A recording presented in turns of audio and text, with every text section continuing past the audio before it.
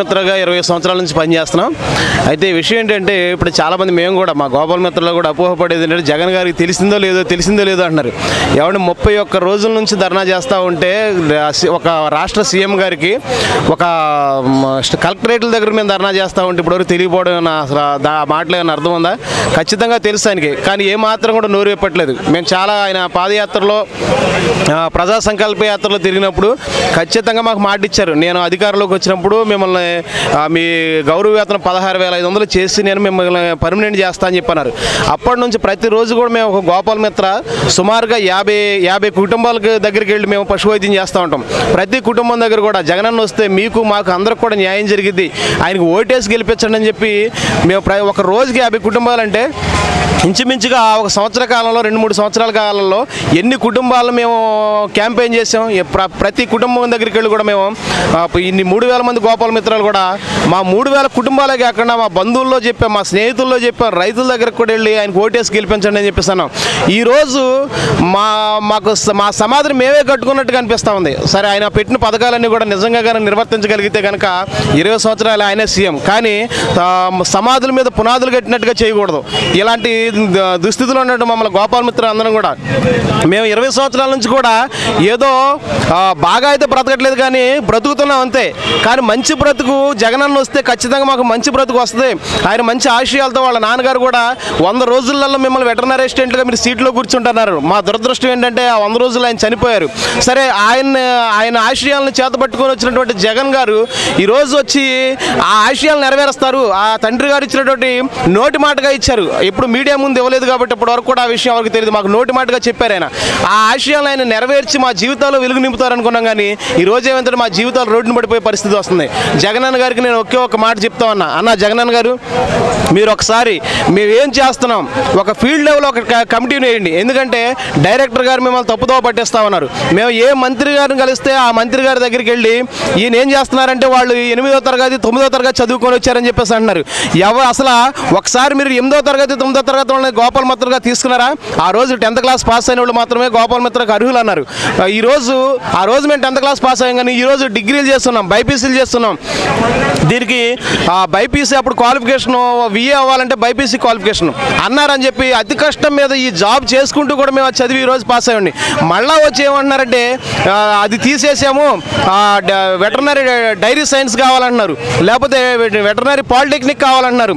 ఈరోజు మళ్ళీ మేము వెళ్ళి కాలేజీలో జాయిన్ అయ్యి మేము చదవగలమా ఇవ్- ఇప్పటికే మా కుటుంబాలను బ్రతికించుకోలేక ఆ అరకొర జీతాలతో ఆ మూడు వేల ఐదు వందలతో రీసెంట్గా ఆరు వేల ఐదు వందలు అయింది కానీ ఇప్పటి వరకు మాకు ఒకే ఒక్క నిలబడింది ఆ మూడు వేల ఐదు వందల జీతంతో మా కుటుంబాన్ని మేము కాపాడుకోవాలా మా భార్య బిడ్డలు పెంచుకోవాలా మేము కాలేజీలో వెళ్ళి జాయిన్ అయ్యి చదివితే మా పరిస్థితి అండి ఈరోజు ముప్పై ఒక్క రోజు నుంచి మేము ధర్నా చేస్తా ఉన్నాం.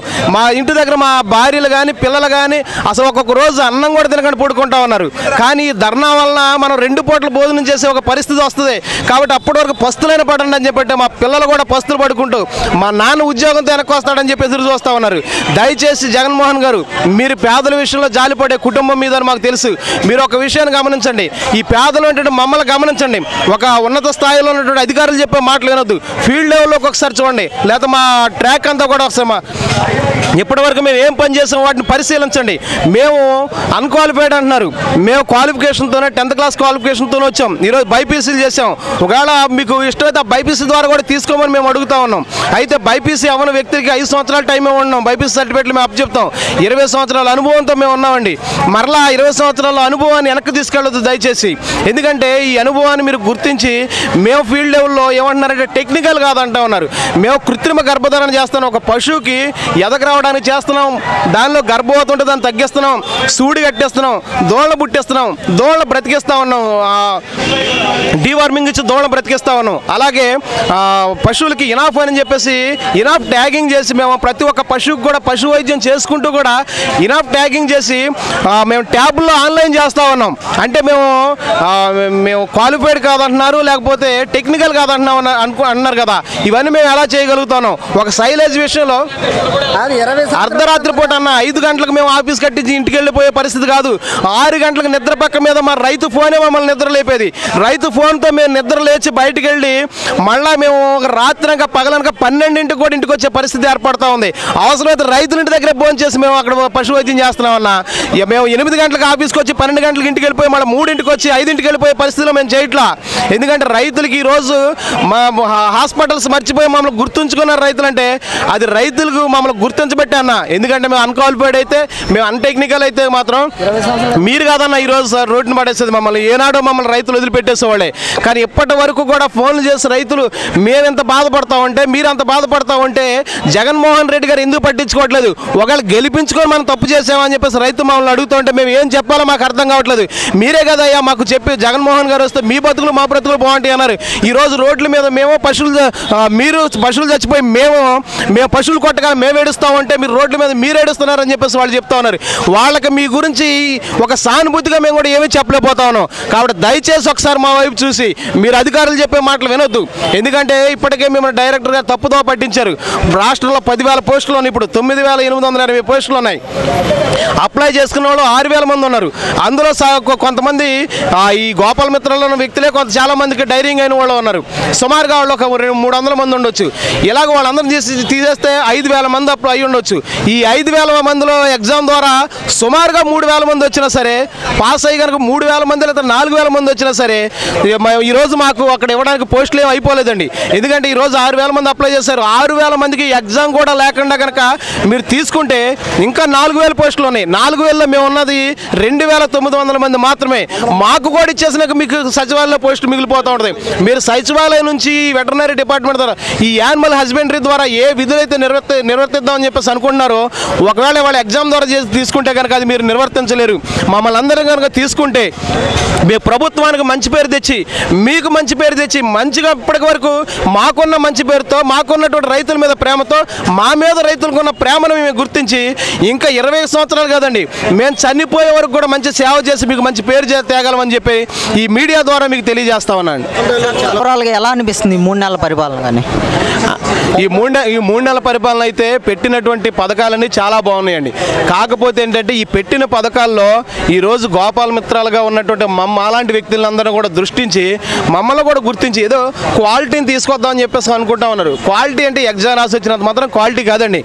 ఎందుకంటే పది ఒక ఇరవై సంవత్సరాలు నాకు వెనక్కి వెళితే మేము కూడా ఎగ్జామ్ రాసి రాగలం. ఎందుకంటే ఈరోజు మేము కాలేజీలో జాయిన్ అయ్యి చదవలేం మేము. కాలేజీలో జాయిన్ అయితే మా కుటుంబాలు ఈ రోజు రోడ్డు మీద కూర్చొని అడుక్కు తింటే వాళ్ళని ఒక వాళ్ళకి తలకు బొచ్చి పిల్లలకి పిల్లలకి నా మా భార్యలకి గిన్నెలు ఇచ్చి రోడ్డు మీద మీరు అడుక్కోండి అమ్మా మేము చదువుకొని వచ్చేవారికి అని చెప్పని వాళ్ళు రోడ్డు మీద కూర్చోబెట్టి వెళ్ళి మేము చదువుకోగలిగితే చదువుకోగలుగుతాం. ఒకవేళ మరి మిమ్మల్ని గెలిపించుకున్నందుకు ఆ పని చేయమంటే ఖచ్చితంగా చేస్తాం. మూడు సంవత్సరాలలో రా జగన్మోహన్ రెడ్డి గారు పెట్టిన సారీ మూడు నెలలలో జగన్మోహన్ రెడ్డి గారు పెట్టినటువంటి పథకాలన్నీ చాలా బాగున్నాయి. దీని ద్వారా మా అందరి జీవితాలు బాగుపడుతున్నాయి అనుకుంటున్నాం కానీ మమ్మల్ని తొక్కేసుకుంటూ మా మీ మా పీకల మీద అడుగులు వేసుకుంటూ ఆయన సచివాలయంలోకి అడుగు పెట్టాలనుకుంటే అది మాత్రం కరెక్ట్ కాదండి. మమ్మల్ని కూడా గుర్తించి మమ్మల్ని కూడా జ్ఞాపకం చేసుకొని మమ్మల్ని కూడా ప్రభుత్వంలో తీసుకోండి. మిగిలిన పోస్టులు బయటకు విడిచి బయటకు వదలండి.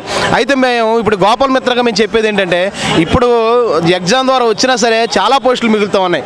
ఎగ్జామ్ ద్వారా మొత్తం ఒకవేళ పెట్టుకున్నటువంటి ఆరు వేల మంది వచ్చినా సరే మాకు ఇవ్వగా ఇంకా చాలా పోస్టులు మిగులుతున్నాయి కాబట్టి మమ్మల్ని అందరినీ కూడా ఒకసారి దయతో ఆయన రాజశేఖర రెడ్డి గారు మనసుతో ఆయన జ్ఞాపకం చేసుకొని మా మమ్మల్ని అందరూ కూడా సచివాలయంలో అర్హులుగా చేస్తారని కోరుకుంటున్నాం.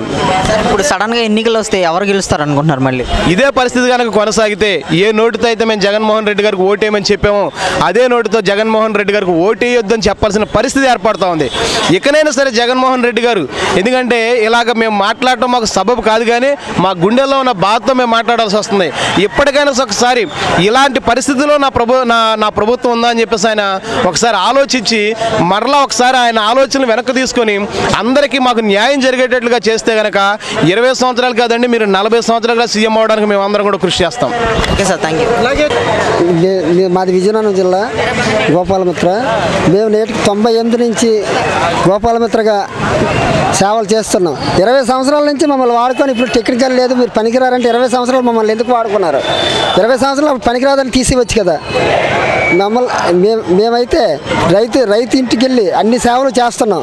మేమేంటి కొంత కొరకు కోరకలేదు ఎవరైనా తాపి పనికి వెళ్ళి పడి చచ్చిపోతాడికి పిఎఫ్ కానీ ఈఎస్ఐ కానీ యూనియన్ ద్వారా వస్తే మాకు అయినా ఐదు వేలు కానీ పదివేలు కూడా కూడా రాదు. కానీ మేము దాన్ని ఎన్నో రిస్కులు పడి చాలా కుటుంబాలు కూడా రోడ్లు పడిపోయాయి. దానివల్ల చాలామంది లాస్ అయిపోయి తన్నేసి కాలు ఇరిపోయి చాలామంది వాళ్ళందరికీ ఎటువంటి లేకుండా ఇరవై సంవత్సరాలు మేము రోడ్డు మీద ఉన్నాం కాబట్టి సీఎం జగన్ గారు మా అంత దయించి గ్రామ సచివాలయాల్లో తీసుకుంటారని మరి కోరుచున్నాం సార్ ఇప్పుడు ఇసుక కొరత ఏర్పడింది కదా ఇసుకలో కొత్త పాలసీ తీసుకొస్తున్నారు ఎలా ఉండబోదు? ఇసుక వల్ల చాలా కార్మికులు భవన కార్మికులు అందరూ రోడ్డున పడ్డారు కాబట్టి ఇసుక మీద ఏదో తక్షణ నిర్ణయం తీసుకోవాలని ఇసుక వల్ల అనేక రంగాలు సిమెంటు సిమెంటు సిమెంటు ఇనుము ఐరన్ అన్ని అన్ని అన్నీ అందులో ఉన్నాయి కాబట్టి ఇసుక వల్ల చాలా ప్రజలు నానా అవస్థలు పడుతున్నారు కాబట్టి దాని మీద తక్షణమే నిర్ణయం తీసుకోవాలని కోరుతున్నాం సార్ థ్యాంక్ యూ